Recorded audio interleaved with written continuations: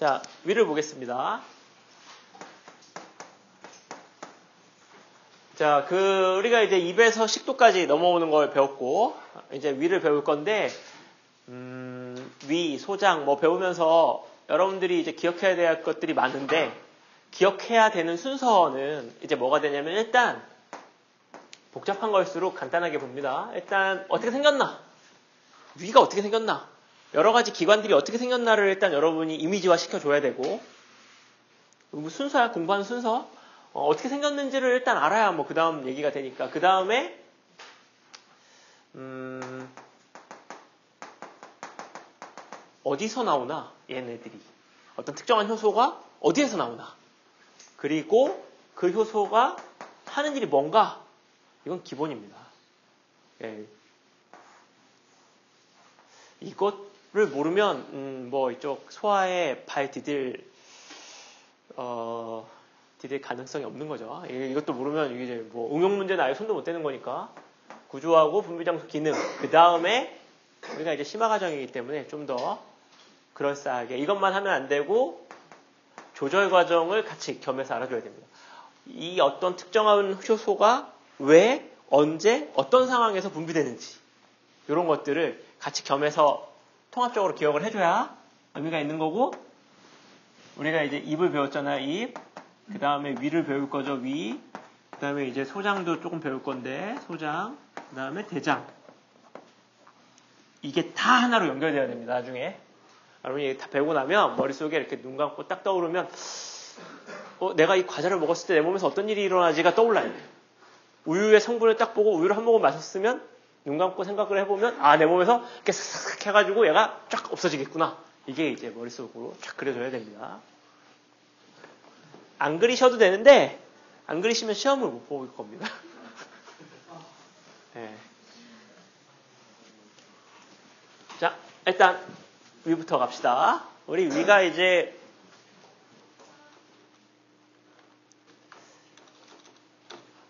우리 위 이렇게 생긴 거 다 알고 있죠? 위 이렇게 생겼고 그 다음에 위가 이렇게 있으면 여기 이렇게 괄약근이 존재를 합니다. 위에서 나오는 물질들이 워낙 강력하기 때문에 이게 위나 아래로 갔을 때 좀 힘들어요. 그래서 이거 적절하게 처리를 해줘야 돼서 여기 괄약근들이 존재를 하죠. 괄약근들이 존재를 하고 이 괄약근의 이름을 분문괄약근, 이 괄약근의 이름을 유문괄약근, 예, 분유라고 얘기했죠. 분유 딱 있고 그 다음에 위에는 세 가지 근육이 있다. 그죠? 요렇게 수축하는 근육, 요렇게 수축하는 근육, 요렇게 수축하는 근육. 세 가지의 근육이 있어요. 그래서 위가 움직일 때 위가 그러니까 위, 여러분이 생각해봐 이렇게 위가 있으면 위가 이렇게 움직이는 근육이 있고 이렇게 좌우로 위아래로 움직이는 근육이 있고 이렇게 대각선으로 움직이는 세 가지의 근육이 한꺼번에 붙어서 그러니까 한꺼번에 움직여. 그럼 수축을 하면 어떻게 될 것 같아? 비틀리죠 이렇게 이렇게. 그러니까 이 안에 음식 이 안에 뭔가가 들어오면 이걸 계속 이렇게 주물럭주물럭 하는 거죠. 왜 하는 거냐면 잘 섞이라고요. 음식물과 소화효소가 잘 섞일 수 있도록 굉장히 강한 수축을 지속하고 그러니까 실제로 위는 이렇게 안 생겼습니다. 이거는 죽은 사람의 위가 이렇게 생겼고 살아있는 사람의 위는 약간 이렇게 생겼어요. 장처럼. 장같이 생겼어. 실제로. 이건 죽어서 퍼진 거고 퍼지면 저렇게 되고요. 근데 근육이 열심히 수축을 하고 있기 때문에 이 모양은 아니겠죠. 그죠? 음. 자, 위에서는 나오는 게 뭐냐? 보면 여러 가지가 나오는데 하나씩 봅시다. 이게 이제 위, 요 위가 위 공간이고 요게 이제 위 벽을 구성하고 있는 세포들입니다. 세포들의 종류가 이렇게 쭉 있죠. 쭉. 하나씩 보면 자, 위에 이제 벽세포라는 게 있어요. 벽세포. 혹은 부세포. 여러분들 위 하면 떠오르는 게 뭐야? 위액이, 위액 하면 딱 떠오르는 거. 염산이죠. 염산. 염산을 분비하는 게 벽세포가 하는 일입니다. 근데 생각해보면은 진짜 신기한 일이야. 왜 신기하냐면은 이 벽세포는, 벽세포는 뭐냐면 세포 자체의 pH는 6에서 7 사이입니다. 근데 얘가 분비하는 수소의 pH는 1이야, 1. 1에서 2야. 그러면은 6 정도 차이 나는 거죠, 최대. 6이면은 뭐야, 100만 배 차이 난다는 얘기지? 어떻게 수소를 100만 배나 농축할 수 있는 것이냐. 이게 우리가 아무 생각 없이 이렇게 듣지만 생각해보면 대단한 거죠. 수소를 100만 배나 농축할 수 있는 거야. 이게 어떻게 가능하냐? 설명드릴게요. 잘 따라와. 자, 이게 이제 위에 벽세포입니다. 어, 여기 벽세포, 부세포 여기가 있고 이쪽이 이제 위 안쪽 공간이고요. 위 안쪽 공간. 이쪽이 혈관이 있는 공간이니까 이제 우리 몸 쪽에 해당하는 거겠죠. 예. 됐어? 여기. 이게 지금 무슨 구조인지 알겠죠? 이게 위 안쪽. 그러니까 여기가 이렇게 그리면 이쪽 공간이라는 얘기입니다. 여기가 여기가 X, 이 공간. 어, 여기 혈관 있고. 자, 여기 잘 보면 이 부세포에 어떤 효소가 있냐면 탄산 무수화 효소가 있습니다.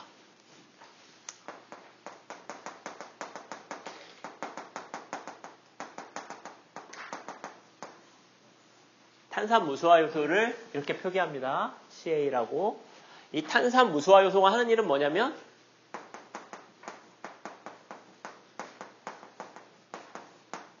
이 뭐지?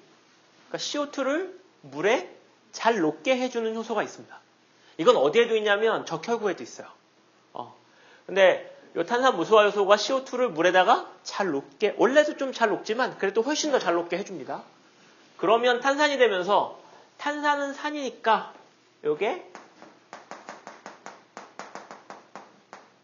이와 같은 형태로 해리 되겠죠. 물론 약산이기 때문에 해리 되는 정도가 강하진 않죠. 근데 이게 약산이기 때문에 이거 얼마 해리 안 된단 말이죠. 그지? 근데도 불구하고 어떻게 이렇게 수소를 많이 펌핑할 수 있는가? 잘 보시면 여기에 이제 비밀이 숨겨져 있습니다. 잘 봐. 자, 여기 이제 소화기관은 세포와 세포 사이가 이제 뭔가로 결합으로 연결되어 있기 때문에 이게 조직이 되는 건데 이 소화기관들은 어떤 결합이 있냐면 여기에 밀착결합이 있어요. tight junction. 생각나나? 밀착결합. 밀착결합. 오, 아는 것처럼 막 이러는데 모를 것 같은데.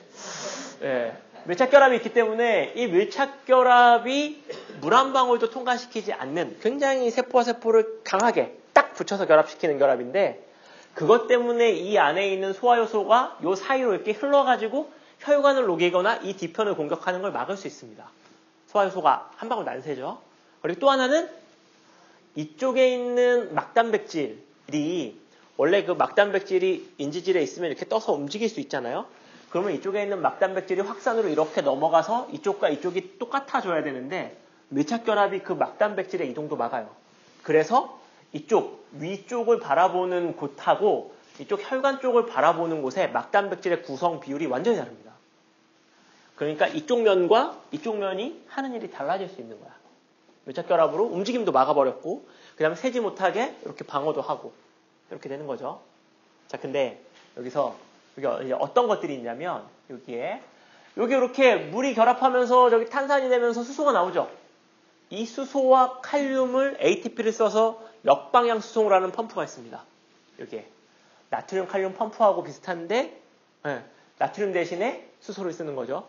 수소와 칼륨을 역방향 수송하면서 ATP를 쓰면서 이걸 계속 바깥으로 퍼내는 애가 있어. 그러니까 이렇게 생기자마자 얘가 굉장히 빠르게 사라진다는 얘기죠. ATP 써서 퍼내니까. 그러면 이쪽에 있는 칼륨이 안으로 계속 들어오겠죠. 근데 이걸 이렇게 막 교환하려고 그러면 이쪽에도 칼륨이 항상 충분하게 있어야 막 교환이 가능한 거죠. 그러면 계속 얘 수소 퍼내면서 칼륨 계속 갖고 들어오면 이쪽에 칼륨이 부족할 거 아닙니까? 이걸 어떻게 해결하냐면 칼륨 촉진확산 통로가 있습니다. 칼륨 채널이 있어. 여기에. 그러니까 퍼서 들어와서 이쪽에 칼륨 농도가 많아지면 알아서 바깥으로 나갑니다. 그러니까 이쪽에 칼륨이 부족할 일이 없는 거죠. 들어와서 많아지면 이 통로를 통해서 바깥으로 나가니까요. 그러니까 계속 ATP만 있으면 수소를 계속 바깥으로 퍼낼 수 있습니다. 우리 몸에 CO2는 굉장히 많고 물도 많으니까 저게 많이 생길 거고 수소는 계속 공급할 수 있죠. 어, 계속 퍼내고 자 그 다음에 이 HCO3-는 이쪽 뒤편에 이쪽 뒤편에 혈관 있는 쪽에 HCO3-와 Cl-를 이렇게 역방향 수송해주는 통로가 있습니다. 이 통로는 뒤편에 있어요. 예, 이쪽을 앞이라고 하고 이쪽을 뒤로 하고 하면 아, 뒤쪽에 있습니다. 그래서 요것도 굉장히 빨리 사라지죠.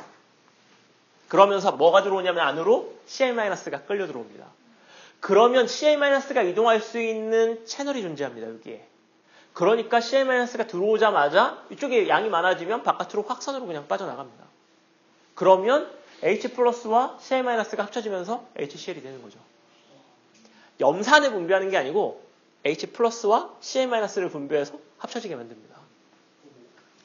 이렇게. 근데 잘 봐. 여기서 생기자마자 H 플러스와 HCO3 마이너스가 굉장히 빨리 사라지죠.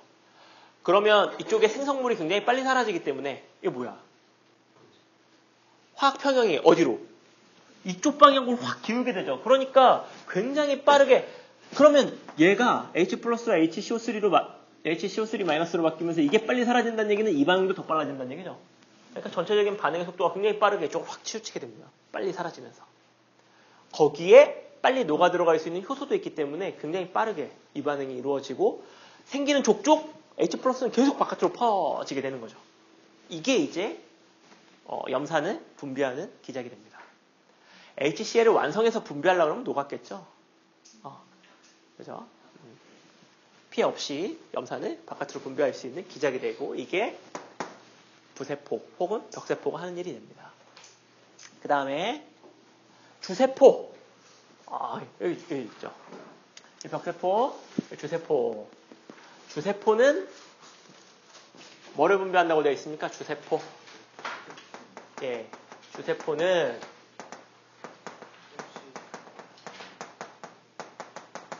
펩시노겐을 분비합니다. 이거는 불활성 형태예요. 무슨 무슨 노겐으로 끝나면은 불활성화 형태입니다. 왜 그러냐면 이게 다 단백질이잖아요. 그러니까 보호막이 갖춰지지 않은 상태에서 단백질을 분해하는 효소를 내보내면 활성 상태로 내보내면 나오면서 다 녹일 거 아닙니까 이거를? 다 고기지 뭐 그렇죠? 그러니까는 안 되니까 처음에 불활성화 상태로 내보내서 방어막이 갖춰진 상태에서 활성화되게 만듭니다. 그래서 이게 언제 활성화되냐면 만나면 펩신이 되죠. 여기 나온다는 얘기는 여기 이렇게 나와서 만나서 활성화되는 거예요. 여기는 이미 이제 벽, 요 벽 자체는 요거 이제 뒤에 나오겠지만 보호막이 감싸고 있기 때문에 요 안쪽 공간에서 활성화되는 건 상관이 없어요. 어. 나오는 과정에서 활성화되면 막이 다 막단백질로 구성되어 있는데 그거 다 녹는 거죠. 그래서 이렇게 한 번 펩신이 활성화되면 좀 더 정확하게 얘기하면 펩시노겐이라고 하는 건 단백질인데 염산의 단백질의 일부가 떨어져 나가면 활성화되는 겁니다. 그러면 펩신이 되면 이 펩신은 어떤 일을 할 수 있냐면 펩신오겐을 펩신으로 바꾸는데 기여합니다. 그럼 어떻게 돼? 하나만 만들어지면 그 하나가 자기를 계속 펩신을 만들게 하고 더 많은 펩신이 더 많은 펩신오겐을 끊어가지고 다시 펩신으로 바꾸겠죠. 이게 전형적인 무슨 예? 양성 피드백 얘기가 됩니다. 그래서 펩신이 활성화되면 순식간에 엄청나게 많은 양이 만들어질 수 있죠. 펩신이 하는 일이 뭡니까 그럼? 단백질. 단백질을, 단백질을 뭘로 바꾸냐면 폴리펩타이드로 바꿉니다. 근데 엄밀하게 따지면 폴리펩타이드도 단백질이죠, 그냥. 커다란 단백질을 그냥 중간중간 대충 끊어놓는 거야. 여러분한테 고기 덩어리 주면 여러분이 그냥 칼로 대충 몇 조각 내는 거랑 비슷합니다. 그냥 대충 자르니까 어떤 건 길이가 짧고 어떤 건 길이가 크고 어떤 건 길이가 되게 크고 이렇게 되는 거죠. 그러니까 여러 가지 길이의 어떤 단백질들이 있다. 그냥 퉁쳐서 폴리펩타이드다. 이렇게 얘기하는 거죠. 이 상태보다 조금 분해된 거야. 자, 그 다음에. 그 다음에 여기 보시면 어떤 세포가 있냐면은 G세포, G셀, G세포. 얘가 뭐를 분비하냐면 가스트린을 분비합니다. 가스트린은 호르몬이에요? 예, 위가 분비하는 호르몬입니다. 얘는 뭐를 하냐면 위액의 분비를 촉진합니다. 촉진하고 그 다음에 촉진하는 게 있으면 억제하는 게 있겠죠. D세포라고 하는 세포가 소마토스타틴이라고 하는 물질을 분비하면서 위액 분비를 억제합니다. 신기한 거 많죠.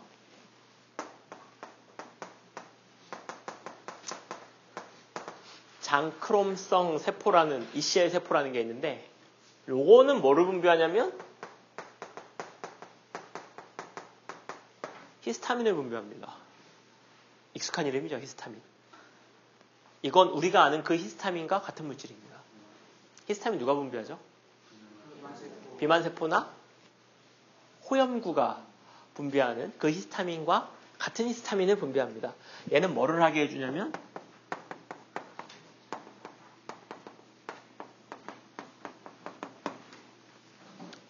염산의 분비를 촉진시켜 줄 수 있죠. 그래서 히스타민이 분비되는 상황을 만들면 위산이 과다하게 분비되는 경우가 생길 수가 있습니다. 이 히스타민과 그 히스타민은 같은 아이기 때문에. 그 다음에 점액 분비 세포가 있죠. 여기서 점액 분비 세포는 이겁니다. 예, 점액 분비 세포. 이건 뭐야? 예, 벽세포. 요거는 이C의 세포. 예, 요거는 주세포, D세포, G세포. 점액 분비 세포에서는 뭐를 분비하냐면 뮤신을 분비합니다. 입에서도 얘기했죠? 뮤신은 성분이 뭐라고요? 당단백질, 그죠? 당단백질. 그래서 보호합니다. 뮤신은 위에서만 나오는 게 아니고 입, 위, 뭐 다 나옵니다. 다 소화기관에서 나와서 커버해 주는 거죠.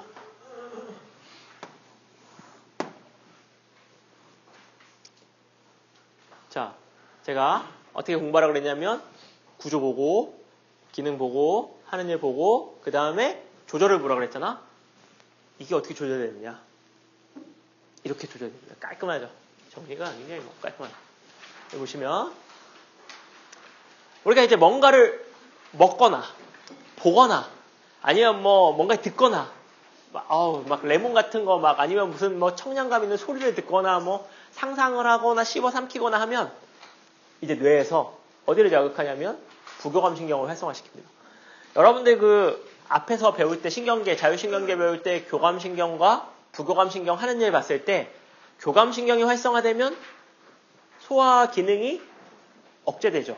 침도 안 나오고, 저 소화액도 안 나오고. 부교감 신경이 활성화되면 침도 잘 나오고, 소화액도 잘 나오고. 그러니까 소화액이 나오는 거예요. 그 다음에 부교감 신경이 활성화되면 아세트콜린하고 부교감 신경이 무슨 상관이죠?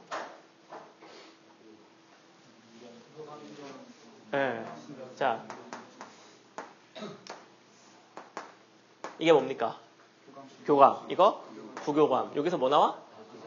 아세트콜린. 요거 아드레날린. 여기는 아세트콜린. 여기 아세트콜린. 이 아세트콜린 얘기하는 겁니다. 부교감 신경 끝이 어 이제 소화기관과 맞닿아 있으니까 저 아세틸콜린이 분비가 되면 일단 G세포가 활성화됩니다. 그래서 가스트린의 분비가 촉진되죠. 그러면 이 가스트린이 주세포와 벽세포를 활성화시킵니다. 그래서 펩시노겐과 염산의 분비를 촉진시킵니다. 그리고 또 하나 부교감 신경이 위에 직접 연결되어 있기 때문에 위를 자극하면 주세포와 벽세포가 활성화돼서 두 가지의 분비가 촉진됩니다. 되겠죠? 어. 그러면 이제 염산이 나왔으니까 펩시노겐을 펩신으로 바꿀 거고 그러면 펩신이 펩시노겐을 다시 펩신으로 바꾸면서 순식간에 많은 양의 펩신이 한꺼번에 만들어지는 거죠. 디테일하게 얘기하면 누군가 얘기할 수도 있어. 염산이 뭐 눈이 달린 것도 아니고 무슨 작용기가 있는 것도 아닌데 펩시노겐을 어떻게 정확하게 자르나요? 정확하게 못 잘라요. 대충 자르는데 많이 막 잘린 것 중에 하나만 펩신이 만들어지면 됩니다. 그러면 걔가 활성화되면서 순식간에 많아지니까 근데 이게 너무 많아지면 아무리 뮤신으로 하고 있지만 염산을 때리 부으면 뭐 뮤신이 어떻게 버텨내겠습니까? 그렇죠? 그러니까 어떻게 너무 많이 나와가지고 위에 pH가 너무 내려가면 이거 막아야죠. 그걸 누가 하냐면 pH가 염산이 너무 나와서 pH가 너무 내려가면 그 pH에 내려가는 게 신호가 돼서 D세포를 자극하게 되고 그러면 소마토스타틴이 나오면서 위액의 분비를 차단합니다. 죽지 않으려면 차단해야죠. 그지? 어, 딱 차단. 이게 이제 우리가 기능인데 요거는 뇌에서 일어나는 전체적인 조절이죠. 여러분 책에서 안 나오고 또 너무 깊이 있는 것 같아서 얘기는 안 했지만 말은 드릴게요. 우리 소화기관의 조절은 두 가지가 있어요. 뇌에 의한 조절을 뇌상이라고 표현합니다. 뇌상. 뇌상. 그리고 이거는 위에 의한 조절도 있어요. 위상이라고 부르는데 이런 실험을 해봤어. 이게 진짜 뇌로만 하는 거냐 궁금해가지고 쥐를 마취시킨 다음에 마취시킨 다음에 쥐의 위에다가 주사기로 먹을 거 직접 넣어줬어. 그리고 쥐의 마취를 풀었죠. 그럼 쥐는 먹은 걸 모르지. 먹은 걸 모르니까 만약에 뇌가 이런 일을 한다 그러면 아무 일도 몸에 변화가 일어나면 안 되지. 근데 실제로 그렇게 한 다음에 쥐의 어떤 혈액을 채취하거나 쭉 봤더니 가스리의 농도도 높고 이런 것들도 많이 분비되는 걸 확인했어요. 그 말은 뇌만으로 판단하지 않는다는 얘기죠. 그래서 나중에 보니까 위에 우리 소화기관에 신장에 대한 수용기가 있다고 했죠. 늘어나는 거에 대한 수용기. 그래서 위에 음식물이 들어와서 위가 늘어나면 똑같은 일이 일어납니다. 가스트린이 분비되고 그 다음에 주세포와 멱세포에서 펩시노겐과 염산이 분비돼요. 그래서 꼭 뇌만으로 하진 않는데 우리가 이제 뇌 기작을 알면 꽤 많은 것들을 이해할 수 있기 때문에 뇌 기작을 주체적으로 설명을 드렸습니다. 그래서 여러분이 먹는 상상만 해도 여러분의 위에서는 위산이 나온다. 속쓰림이 잦은 아이는 먹는 생각을 끊어라. 뭐 이런 거죠. 예, 생각만으로도 위가 쓰릴 수 있다. 뭐 이런 겁니다. 자,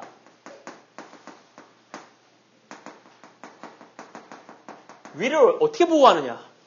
이렇게 무서운 염산을 때려 붓고 있는데. 그죠?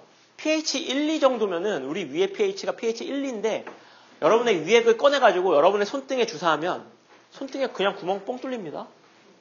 예, pH 1, 2가 뭐 장난이 아니죠. 우리 염산, 묽은 염산 그거 써도 막, 어, 증기만으로도 사람이 죽네만해 막 이러고 있는데 지금 그거보다 그게 pH 2 정도 되죠. 강산이.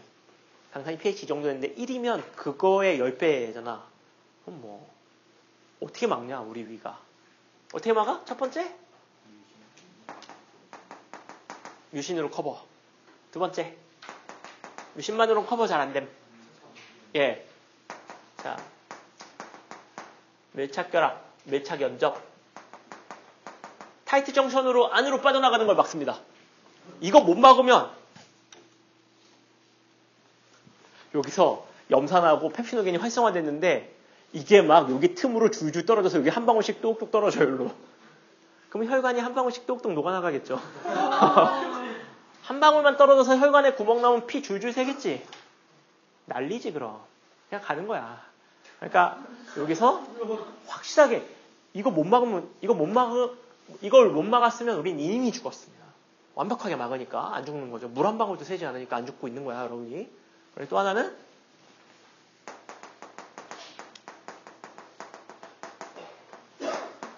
빠른 세포 분열.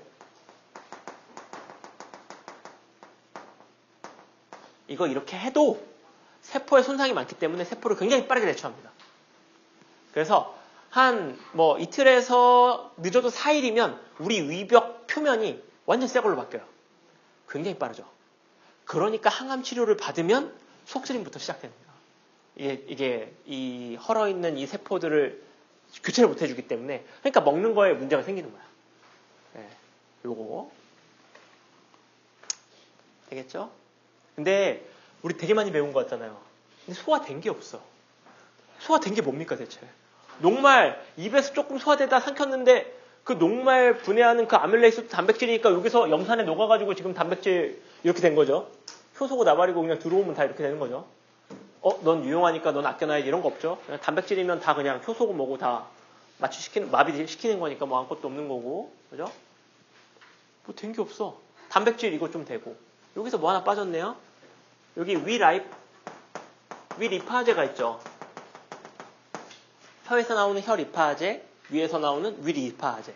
얘가 지방을 이렇게 바꾸죠. 요거 뭐야? 예. 모노글리세리드와 지방산으로 바꿉니다. 우리 그 수능책에서는 이렇게 또 소개돼요. 지방이 최초로 소화되는 장소가 소장이다. 틀렸죠. 위입니다, 위. 혈 이파제는 pH가 2에서 4일 때 활성화되기 때문에 입에서는 소화가 안 되고 아, 입에서 활성을 못 갖고 위로 넘어오면 활성화되는데 입에서 나온 이 혈이파제와 위에서 나오는 위 리파제가 위에서 활성화돼서 전체 지방의 30% 정도는 여기서 처리합니다. 30% 정도는 이거 주세포에서 분비합니다. 근데 이거 30% 했지 단백질 대충 잘랐지 녹말 분해하다 말았지 한 게 없습니다. 어디 가야 제대로 되냐면 장으로 가야 이제 소화를 합니다. 그래서 장으로 가볼게요. 자.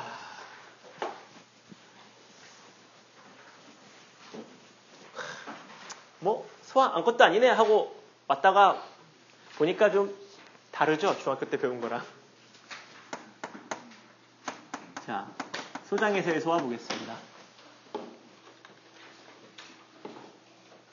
그 전에 요거는 또 상식적으로 한마디 또 해주고 넘어가야죠, 요거. 헬리코박터. 이게 이제 우리가 그 아저씨가 맨날 그 이렇게 뭐 이게 뭐야? 예, 소방 소방관은 그건 위산 억제할 때 쓰는 거 아닌가?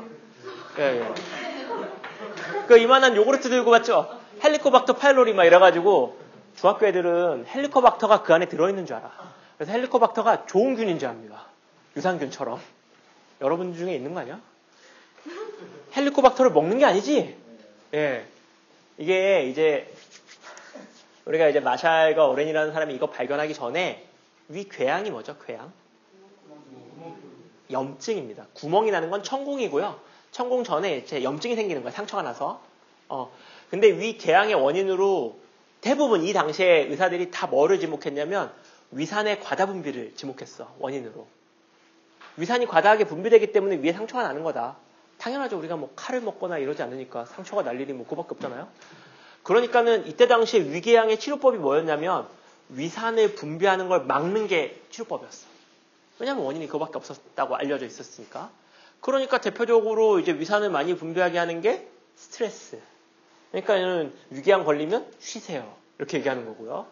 그 다음에 또 뭐야? 카페인이나 술, 담배 이런 것들이 위산의 과다 분비를 촉진하기 때문에 술, 담배 끊고 쉬세요. 이게 이제 위궤양에 대한 치료법이었어요. 아니면은 산을 중화시킬 수 있는 염기성 어떤 물질을 먹는 거지. 여러분이 갤포스 먹는 거랑 비슷하죠? 갤포스가 이제 위산을 중화시키는 거니까 그런 것들을 했는데 마샬이라고 하는 사람이 이렇게 쭉 보니까 그것만이 원인은 아닌 것 같아요. 쭉 봤더니 이게 위궤양에 걸린 사람이 이렇게 셋이 있으면 얘네한테서 이렇게 조직을 떼서 보니까 똑같은 세균이 검출이 되는 거야. A 세균이 계속 검출이 돼. 얘가 원인이 되지 않을까? 어, 이렇게 생각을 하는데 과학자들이 잘 믿는 이제 가설이 만약에 A라는 병의 원인이 가세균이다. 네. 이게 이 세균이 이거를 일으키는지를 어떻게 하냐면 주로 코우의 가설 로 설명을 많이 하는데 이게 뭐냐면은 이런 거야. 코우라는 사람이 굉장히 깡깡한 사람인데 이렇게 해야 코우가 믿어주는 거죠. 아니 코우가 믿어주는 게 아니고 코우가 얘기를 했는데 꽤 괜찮아 방법이. 봐봐. 저 A라는 병에 걸린 모든 아이들은 다 가라고 하는 세균이 있어야 됩니다. 그것만 그러면 있으면 무조건 이게 원인이냐 아니죠. 가세균을 다른 병에 걸리지 않은 다른 사람한테 넣어줬을 때 똑같은 병의 양상이 나타나야 됩니다. 그리고 그 사람의 몸에서 또 가라고 하는 세균이 검출이 돼야 돼. 병에 걸리고 나서. 그러면 가라고 하는 세균이 A라고 하는 병을 일으키는 원인이 된다라고 얘기할 수 있다는 얘기입니다. 걸린 사람 누구나 다 갖고 있고 뽑아서 얘한테 주사했더니 얘가 병에 걸리고 그리고 나서 시간이 지나서 병에 걸리 병이 한참 걸리고 나서 걔 몸에서 뽑았을 때 넣어준 세균과 똑같은 세균이 검출되면 어 그것 때문에 걸렸다라고 얘기하는 거야. 그래서 그 룰을 따라서 과학자들이 이 룰을 잘 믿으니까요. 이거 좀 반박하기 어려울 만큼 좀 파워풀하죠. 그러니까 이 룰을 따라서 쭉 하고 있는데 여기까지 쭉 왔어. 그래서 순수하게 분리도 했고 뭐 유기암 걸린 사람들한테 헬리코박터를 쭉 잘 얻었어. 근데 이제 뭐를 해야 돼? 이거를 유기암에 걸리지 않은 사람한테 주고 유기암에 걸리는지 확인을 해야 되잖아. 누가 지원하겠습니까 이걸? 그래서 자기가 먹습니다. 직접 먹어. 이게 윤리적으로 문제가 좀 있죠. 원래 이렇게 사람한테 주입할 때는 생명윤리위원회에 허가를 받게 돼 있어요. 그래서 허가를 해줘야 되는데 마샬은 허가를 안 해줄 거라고 믿었어. 안 해줄 것 같았어 분위기가. 그러니까 그냥 조용히 혼자 먹습니다. 근데 먹기 전에 무턱대고 먹으면 자기가 이제 많이 아플 수가 있으니까 이 헬리코박터가 그런 음성균이고 이 헬리코박터를 잡는 몇몇 가지 항생제를 가지고 실험을 해봤겠죠. 항생제 투여해서 얘가 죽나 안 죽나 봤겠지. 그랬더니 죽는 거를 이제 약 후보군을 놓고 먹었어. 아니나 다를까 위궤양의 고통에 시달리기 시작합니다. 위궤양이 걸려요. 마샬이. 그리고 나서 약을 먹어서 뭐를 항생제를 먹어서 일정한 시간이 지나서 위궤양이 치료되는 걸 보여줍니다. 이때 당시는 위산의 과다 분비만이 어떤 위궤양의 원인인 줄 알았기 때문에 항생제를 먹어서 위궤양이 낫는다는 걸 진짜 신기한 일로 받아들였죠. 잘 안 믿었지만 자기 몸을 가지고 실험을 해서 보여주니까 이제 뭐 어쩔 수 없이 뭐 되는 거죠. 그래서 지금 뭐야? 이게 이제 헬리코박터균이 위궤양의 주요한 원인 중에 하나로 떠오르는 거고 특히나 한국 사람들은 위궤양의 원인 중에 굉장히 많은 퍼센트가 헬리코박터균에 의한 전염이죠. 이건 우리의 식습관과 연관을 짓는 사람들이 많지? 왜? 우리는 국을 같이 먹는 아름다운 민족이니까, 그렇죠? 여러분들 친구들끼리 어디 놀러 가갖고 뭐 부대찌개 같은 거 시키면 이렇게 같이 막 이렇게 먹잖아? 전 아무 생각이 없었는데 외국 애들이 그걸 되게 질색해요. 되게 싫어해. 근데 외국 애들이 왜 싫어하나 이렇게 얘기를 들어보면은 얘기를 듣고 다시 보니까 어 그럴 것 같아. 우리 막 8명, 9명도 막 같이 먹잖아. 큰 거 막 시키면은. 생각해보면은 밥알이 묻으면 어떻게? 밥알을 막 입으로 이렇게 해갖고 밥알 없앤 다음에 거기다가 이렇게 찍어서 이렇게 먹잖아. 그게 뭔 얘기야? 침이 범벅된 숟가락이 막 들어온다는 얘기죠, 구간으로. 그러니까 침을 나눠 먹는 거잖아, 사실은. 그죠? 예. 그리고 뭐 이렇게 먹다 먹으니까 입안에 침 가득한데 그걸 묻혀가지고 다시 찍어서 먹고, 뭐 이렇게 먹잖아요, 이렇게? 침을 거의 뱉고 있는 수준의 어떤. 그러다 보니까 헬리코박터균에 의한 감염이 생각보다 많을 수 있죠. 그리고 또 국을 팔팔 끓이는 상태로 계속 먹는 게 아니고 우리가 어느 정도 식어야 또 먹기에 편하니까 우리가 어느 정도 식은 상태에서 먹으니까 세균이 또 안 죽고. 그죠? 그러니까는 이제 내 헬리코박터 음, 내, 남아 있으면 안 되니까 너도 하나, 너도 하나 이렇게 분양을 분양을 이렇게 하고 있는 거죠. 그래서 우리나라가 좀 많이 걸린다는 뭐 얘기가 있죠. 이게 헬리코박터예요. 아 그리고 상식 하나 더. 자 헬리코박터가 어떻게 살 수 있냐? 이거 질소분해 질소분해 효소를 가지고 있는데 우리 몸 안에 있는 우리 뭐 세포나 이런 몸 안에 있는 질소원을 분해하는 어, 우라제라고 하는 질소분해 효소를 가지고 있는데 얘가 암모늄을 만듭니다. 암모늄을 만들면 염기성이잖아요.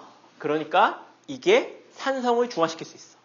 그래서 헬리코박터를 찾아낼 수 있는 방법 중에 하나가 위에서 질소분해 효소가 얼마나 나오냐를 보면 쉽게 알 수 있습니다. 질소분해 효소가 많이 나온다는 얘기는 이걸 가지고 있는 얘가 있다는 얘기고 그러면 쉽게 알수 있고 더 직접적인 건 꺼내보면 되죠. 위에 위에 이렇게 꼬챙이 같은 거 집어넣어가지고 이렇게 딱 조직 꺼내서 배양해서 보면 금방 알 수 있습니다. 궁금하시면 여러분들 해보시면 뭐 이렇게 오래 걸리지 않게 할 수 있어요. 자, 구조를 이제 봅시다. 구조, 구조.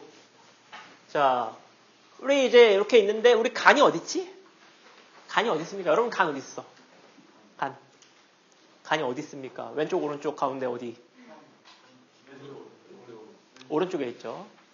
간은 오른쪽에 있고요. 예, 오른쪽 그, 요 갈비뼈 밑에, 갈비뼈 밑에, 갈비뼈 끝나는 요 밑에 손을 위쪽으로 이렇게 찌르면 여러분은 위, 아니, 간을 누르고 있는 거야. 여기, 간이 여기 갈비뼈 밑으로 조금 삐져나와 있거든요. 여기, 여기 누르면, 예, 예. 여기 간을 누르고 있는 겁니다. 뭐 느낌은 없겠지만. 예, 간이 있고요. 간은 꽤 커요. 어, 간은 꽤 크고. 예, 뭐. 자, 간이 있고, 그 다음에 요거 뭡니까, 요거? 요거 쓸개. 쓸개. 쓸개를 한문으로 담낭이라 부르죠, 담낭. 담이 쓸개잖아, 그쵸? 어. 그래서 곰의 쓸개를 웅담이라 부르죠. 그러니까 사실은 그게 효과가 있는지 진짜 모르겠습니다. 쓸개가 뭐 제가 쓸개 성분 얘기해 볼게요. 곰도 똑같이 만드니까 이 쓸개즙은 누가 만드냐면 간이 만듭니다. 간에서 만들어서 요 길을 따라서 여기다 저장해 놨다가 필요할 때 분비해서 짜서 쓰는 겁니다. 저장 장소죠. 쓸개는 쓸개즙을 만드는 장소가 아닙니다. 저장 장소고. 그 다음에 요 길을 요 관을 담관이라 부르고요. 담관. 이 길을 담도라 부릅니다. 그러니까 이 구조물, 쓸개즙이 흘러다니는 이 구조물을 담관, 쓸개관 이렇게 부르고 이 길, 이 길을 담도라 부릅니다. 뭐 비슷한 개념이지만 뭐 구조물의 이름을 붙이냐 왔다 갔다 하는 통로의 이름을 붙이느냐 뭐 그 차이 이게 이제 어디에서 많이 쓰냐면 여러분이 이제 담석증 걸리면은 어, 이 설명을 의사한테 들을 때가 있을 겁니다. 예, 담석 뭐 이런 데 돌 생기면 이제 뭐 생기는 거죠. 음, 이런 데 돌 생기면은 돌이 뭐 진짜 짱돌이 생기는 건 아니지. 예, 뭐 이렇게 딱딱한 구조물들이 결석처럼 생겨가지고 여기에 이렇게 있으면 이게 밥 먹을 때 이제 쓸개즙이 나오는 상황이 되면 그 돌이 드르륵 굵어가면서 여기 벽면을 긁어가지고 굉장한 고통을 유발하는 뭐 그와 같은 병이고 실제로 저도 담석에 걸려서 수술을 해봤었는데 진짜 아파요. 어, 정말 여러분의 상상보다 많이 아픕니다. 그래서 이제 의사가 설명하는 거를 알아들었죠. 아, 이 부분에 문제가 있다는 거구나. 뭐. 예, 뭐. 설명할 때 좀 편하긴 합니다. 뭐. 그래서 여기 보면은 이렇게 되고, 이게 이제 담도고, 그 다음에 여기 보면 쓸개에서 나오는 관과 간에서 나오는 관이 합쳐지는 곳이 있죠? 이게 우리가 이제 이게 요 쓸개즙이 나올 때 여기서도 나오지만 간에서도 만들어서 실시간으로 분비하기도 합니다. 합쳐져서 내려오는데 합쳐져서 이 밑에 길, 요 밑에 길을 뭐라고 부르냐면 총담관이라고 합니다. 합쳐진다 이거죠. 그래서 어디로 가냐면 이게 12지장으로 연결됩니다. 12지장으로. 그 다음에 이게 이자죠. 이자. 우리 이자가 호르몬을 분비하는 내분비샘이죠. 그죠? 뭐 분비해? 인슐린과 글루카곤 분비하는 내분비샘. 이기도 하고 여기 보면 분비관이 있지 이렇게. 소화효소를 분비하는 외분비샘이기도 합니다. 이 이자에서 나오는 이 관이 어디하고 만나냐면 쓸개가 내려오는 이 쓸개 관과 만나요. 두 개가 합쳐져서 12지장으로 연결됩니다. 그리고 여기는 괄약근으로 이렇게 쪼였다가 필요할 때만 열어. 안 그러면 이쪽에 있는 소화효소가 역류하면 이 관 다 녹아요. 그러니까 여기 역류 못하게 딱 잠가 놓고 있죠. 이 괄약근의 이름이 오디 괄약근입니다. 오디 괄약근. 오디 괄약근.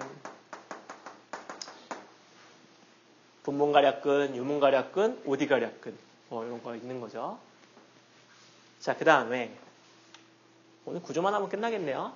자, 우리 위가 있고 여기 보면은 여기 이렇게 12지장이 있습니다.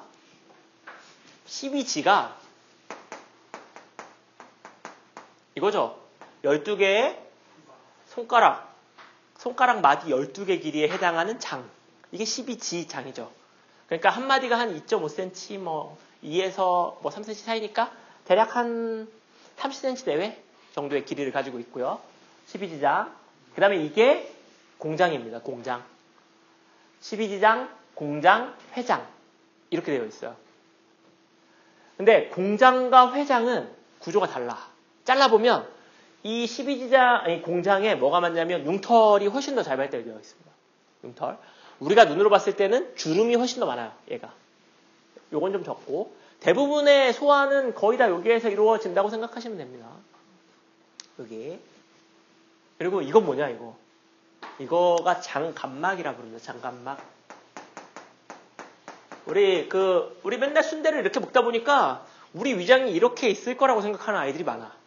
근데 실제로 위장은 이렇게 있습니다. 장이 있고 여기 이렇게 장감막들이 쫙 붙어 있어요. 그래야겠죠. 상상해봐. 여기서 이거 하나하나에서 양분을 다 흡수하는데 이 양분 갖고 갈 혈관들이 엄청나게 잘 발달되어 있어야 쫙쫙 뽑아 될거 아닙니까? 그러니까 이게 다 붙어 있어요. 이렇게 통으로. 이렇게. 이렇게 덜렁덜렁 들면 긴 줄이 있는 게 아니고 이렇게 덩어리가 덜렁덜렁 움직입니다. 이렇게 들면. 예.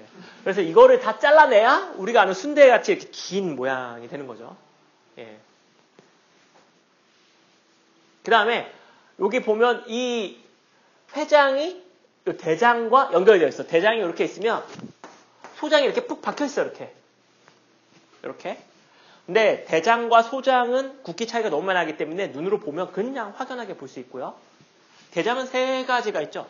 대장이 이렇게 둘러져 있잖아요. 이렇게. 여기가 항문이 있고, 여기 이제 바깥 세상이죠. 네. 그래서 여기 상행결장, 횡횡결장, 하행결장, 직장 통해서 예, 항문 이렇게 되어 있는 구조로 되어 있고 요 끄트머리에 요게 뭐야? 요게 충수도유기 이게 맹장이죠. 우리가 얘기하는 맹장. 옛날에는 아기가 태어나면 맹장 수술을 해주는 경우도 있었어. 어차피 나중에 이거 맹장염 걸려서 아플 바에는 어차피 뭐 얘가 똥인지 된장인지 모를 때 그냥 떼자. 어차피 가만 놔둬도 울고 뭐 때도 우니까 그냥 뭐 항상 우니까 그냥 떼자 뭐 이런 의견이 있어가지고 출산하면 이걸 떼줬단 말이야 수술로. 근데 요새는 요새는 여러분들 책 읽었을 때 이거 하는 일이 뭐라고? 미생물의 보호 같은 곳이죠.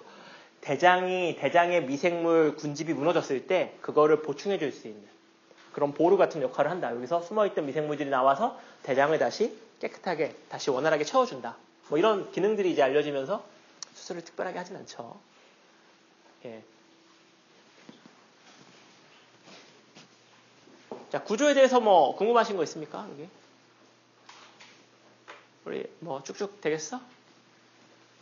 예.